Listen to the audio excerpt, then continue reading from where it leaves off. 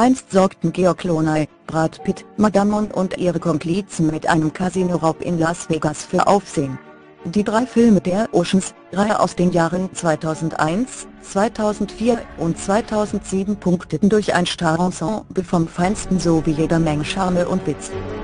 Am 21. Juni kommt nun eine weitere Fortsetzung in die deutschen Kinos, in Oceans 8 planen weibliche Stars den ganz großen Coup? Es ist der erste Kinofilm von Hollywood-Liebling Sandra Bullock, 53, seit drei Jahren und sie hat sich hochkarätige weibliche Unterstützung mit ins Boot geholt. Doch lohnt sich der Gang ins Kino.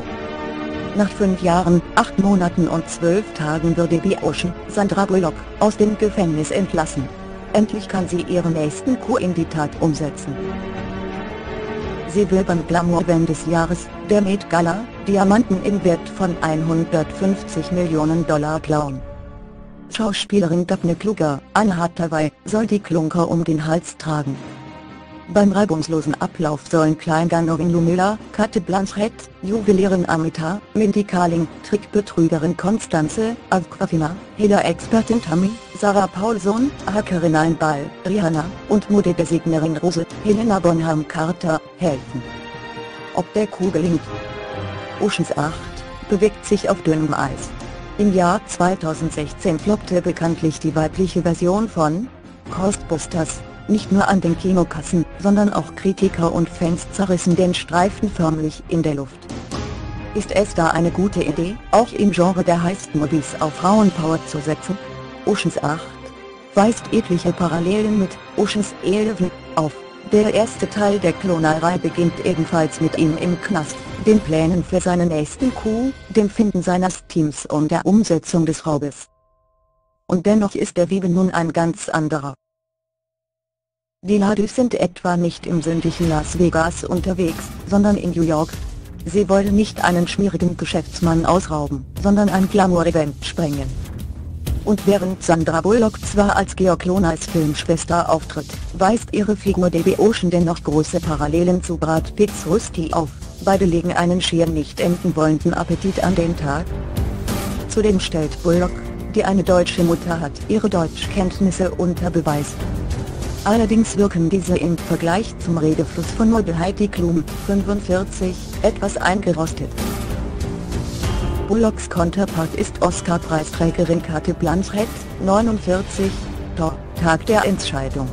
Die Chemie stimmt, doch die beiden sind ein nicht ganz so dynamisches Duo wie Cloney und Pitt.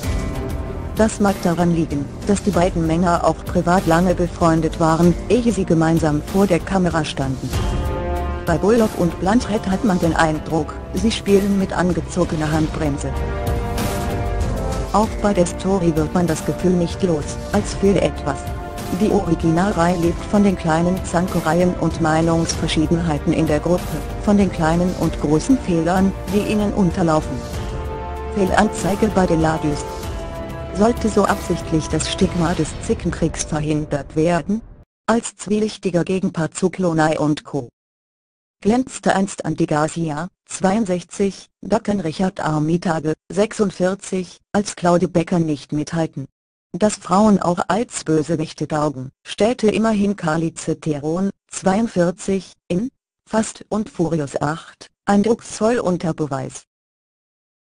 Bullocks Guest ist starr gespickt. D. Met Gala, im Film trumpft mit jeder Menge Promis auf.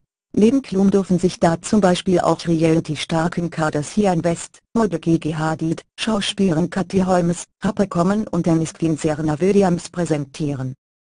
Außerdem scheint James Corden sichtlich Spaß gehabt zu haben, als einer der wenigen Männer im Film.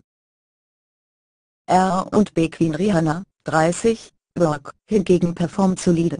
Doch an zwei Ladus beißen sich alle die Zähne aus. Helena Bonham Carter, 52, Alice im Wunderland, und Anne Hathaway, 35, Der Teufel trägt Prada, stillen allen die Show. Bonham Carter sorgt allein mit ihrer Mimik und Gestieg für reichlich Situationskomik. Hathaway überzeugt als biestige Schauspielerin mit Starallüren. Ihr übertriebenes Gehabe passt in diesem Fall wie die Faust aufs Auge. Herrlich.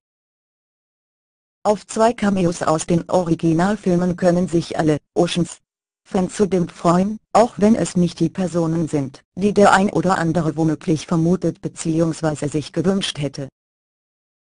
Natürlich kann man sich fragen, ob es diese weibliche Version der Oceans-Reihe überhaupt braucht. Fallen Hollywood keine originellen Stories für Frauen ein?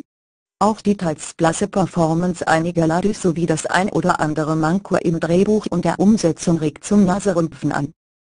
Doch, Oceans 8 ist wirklich gutes, unterhaltsames Popcorn-Kino mit cooler Musik und coolen Klamotten.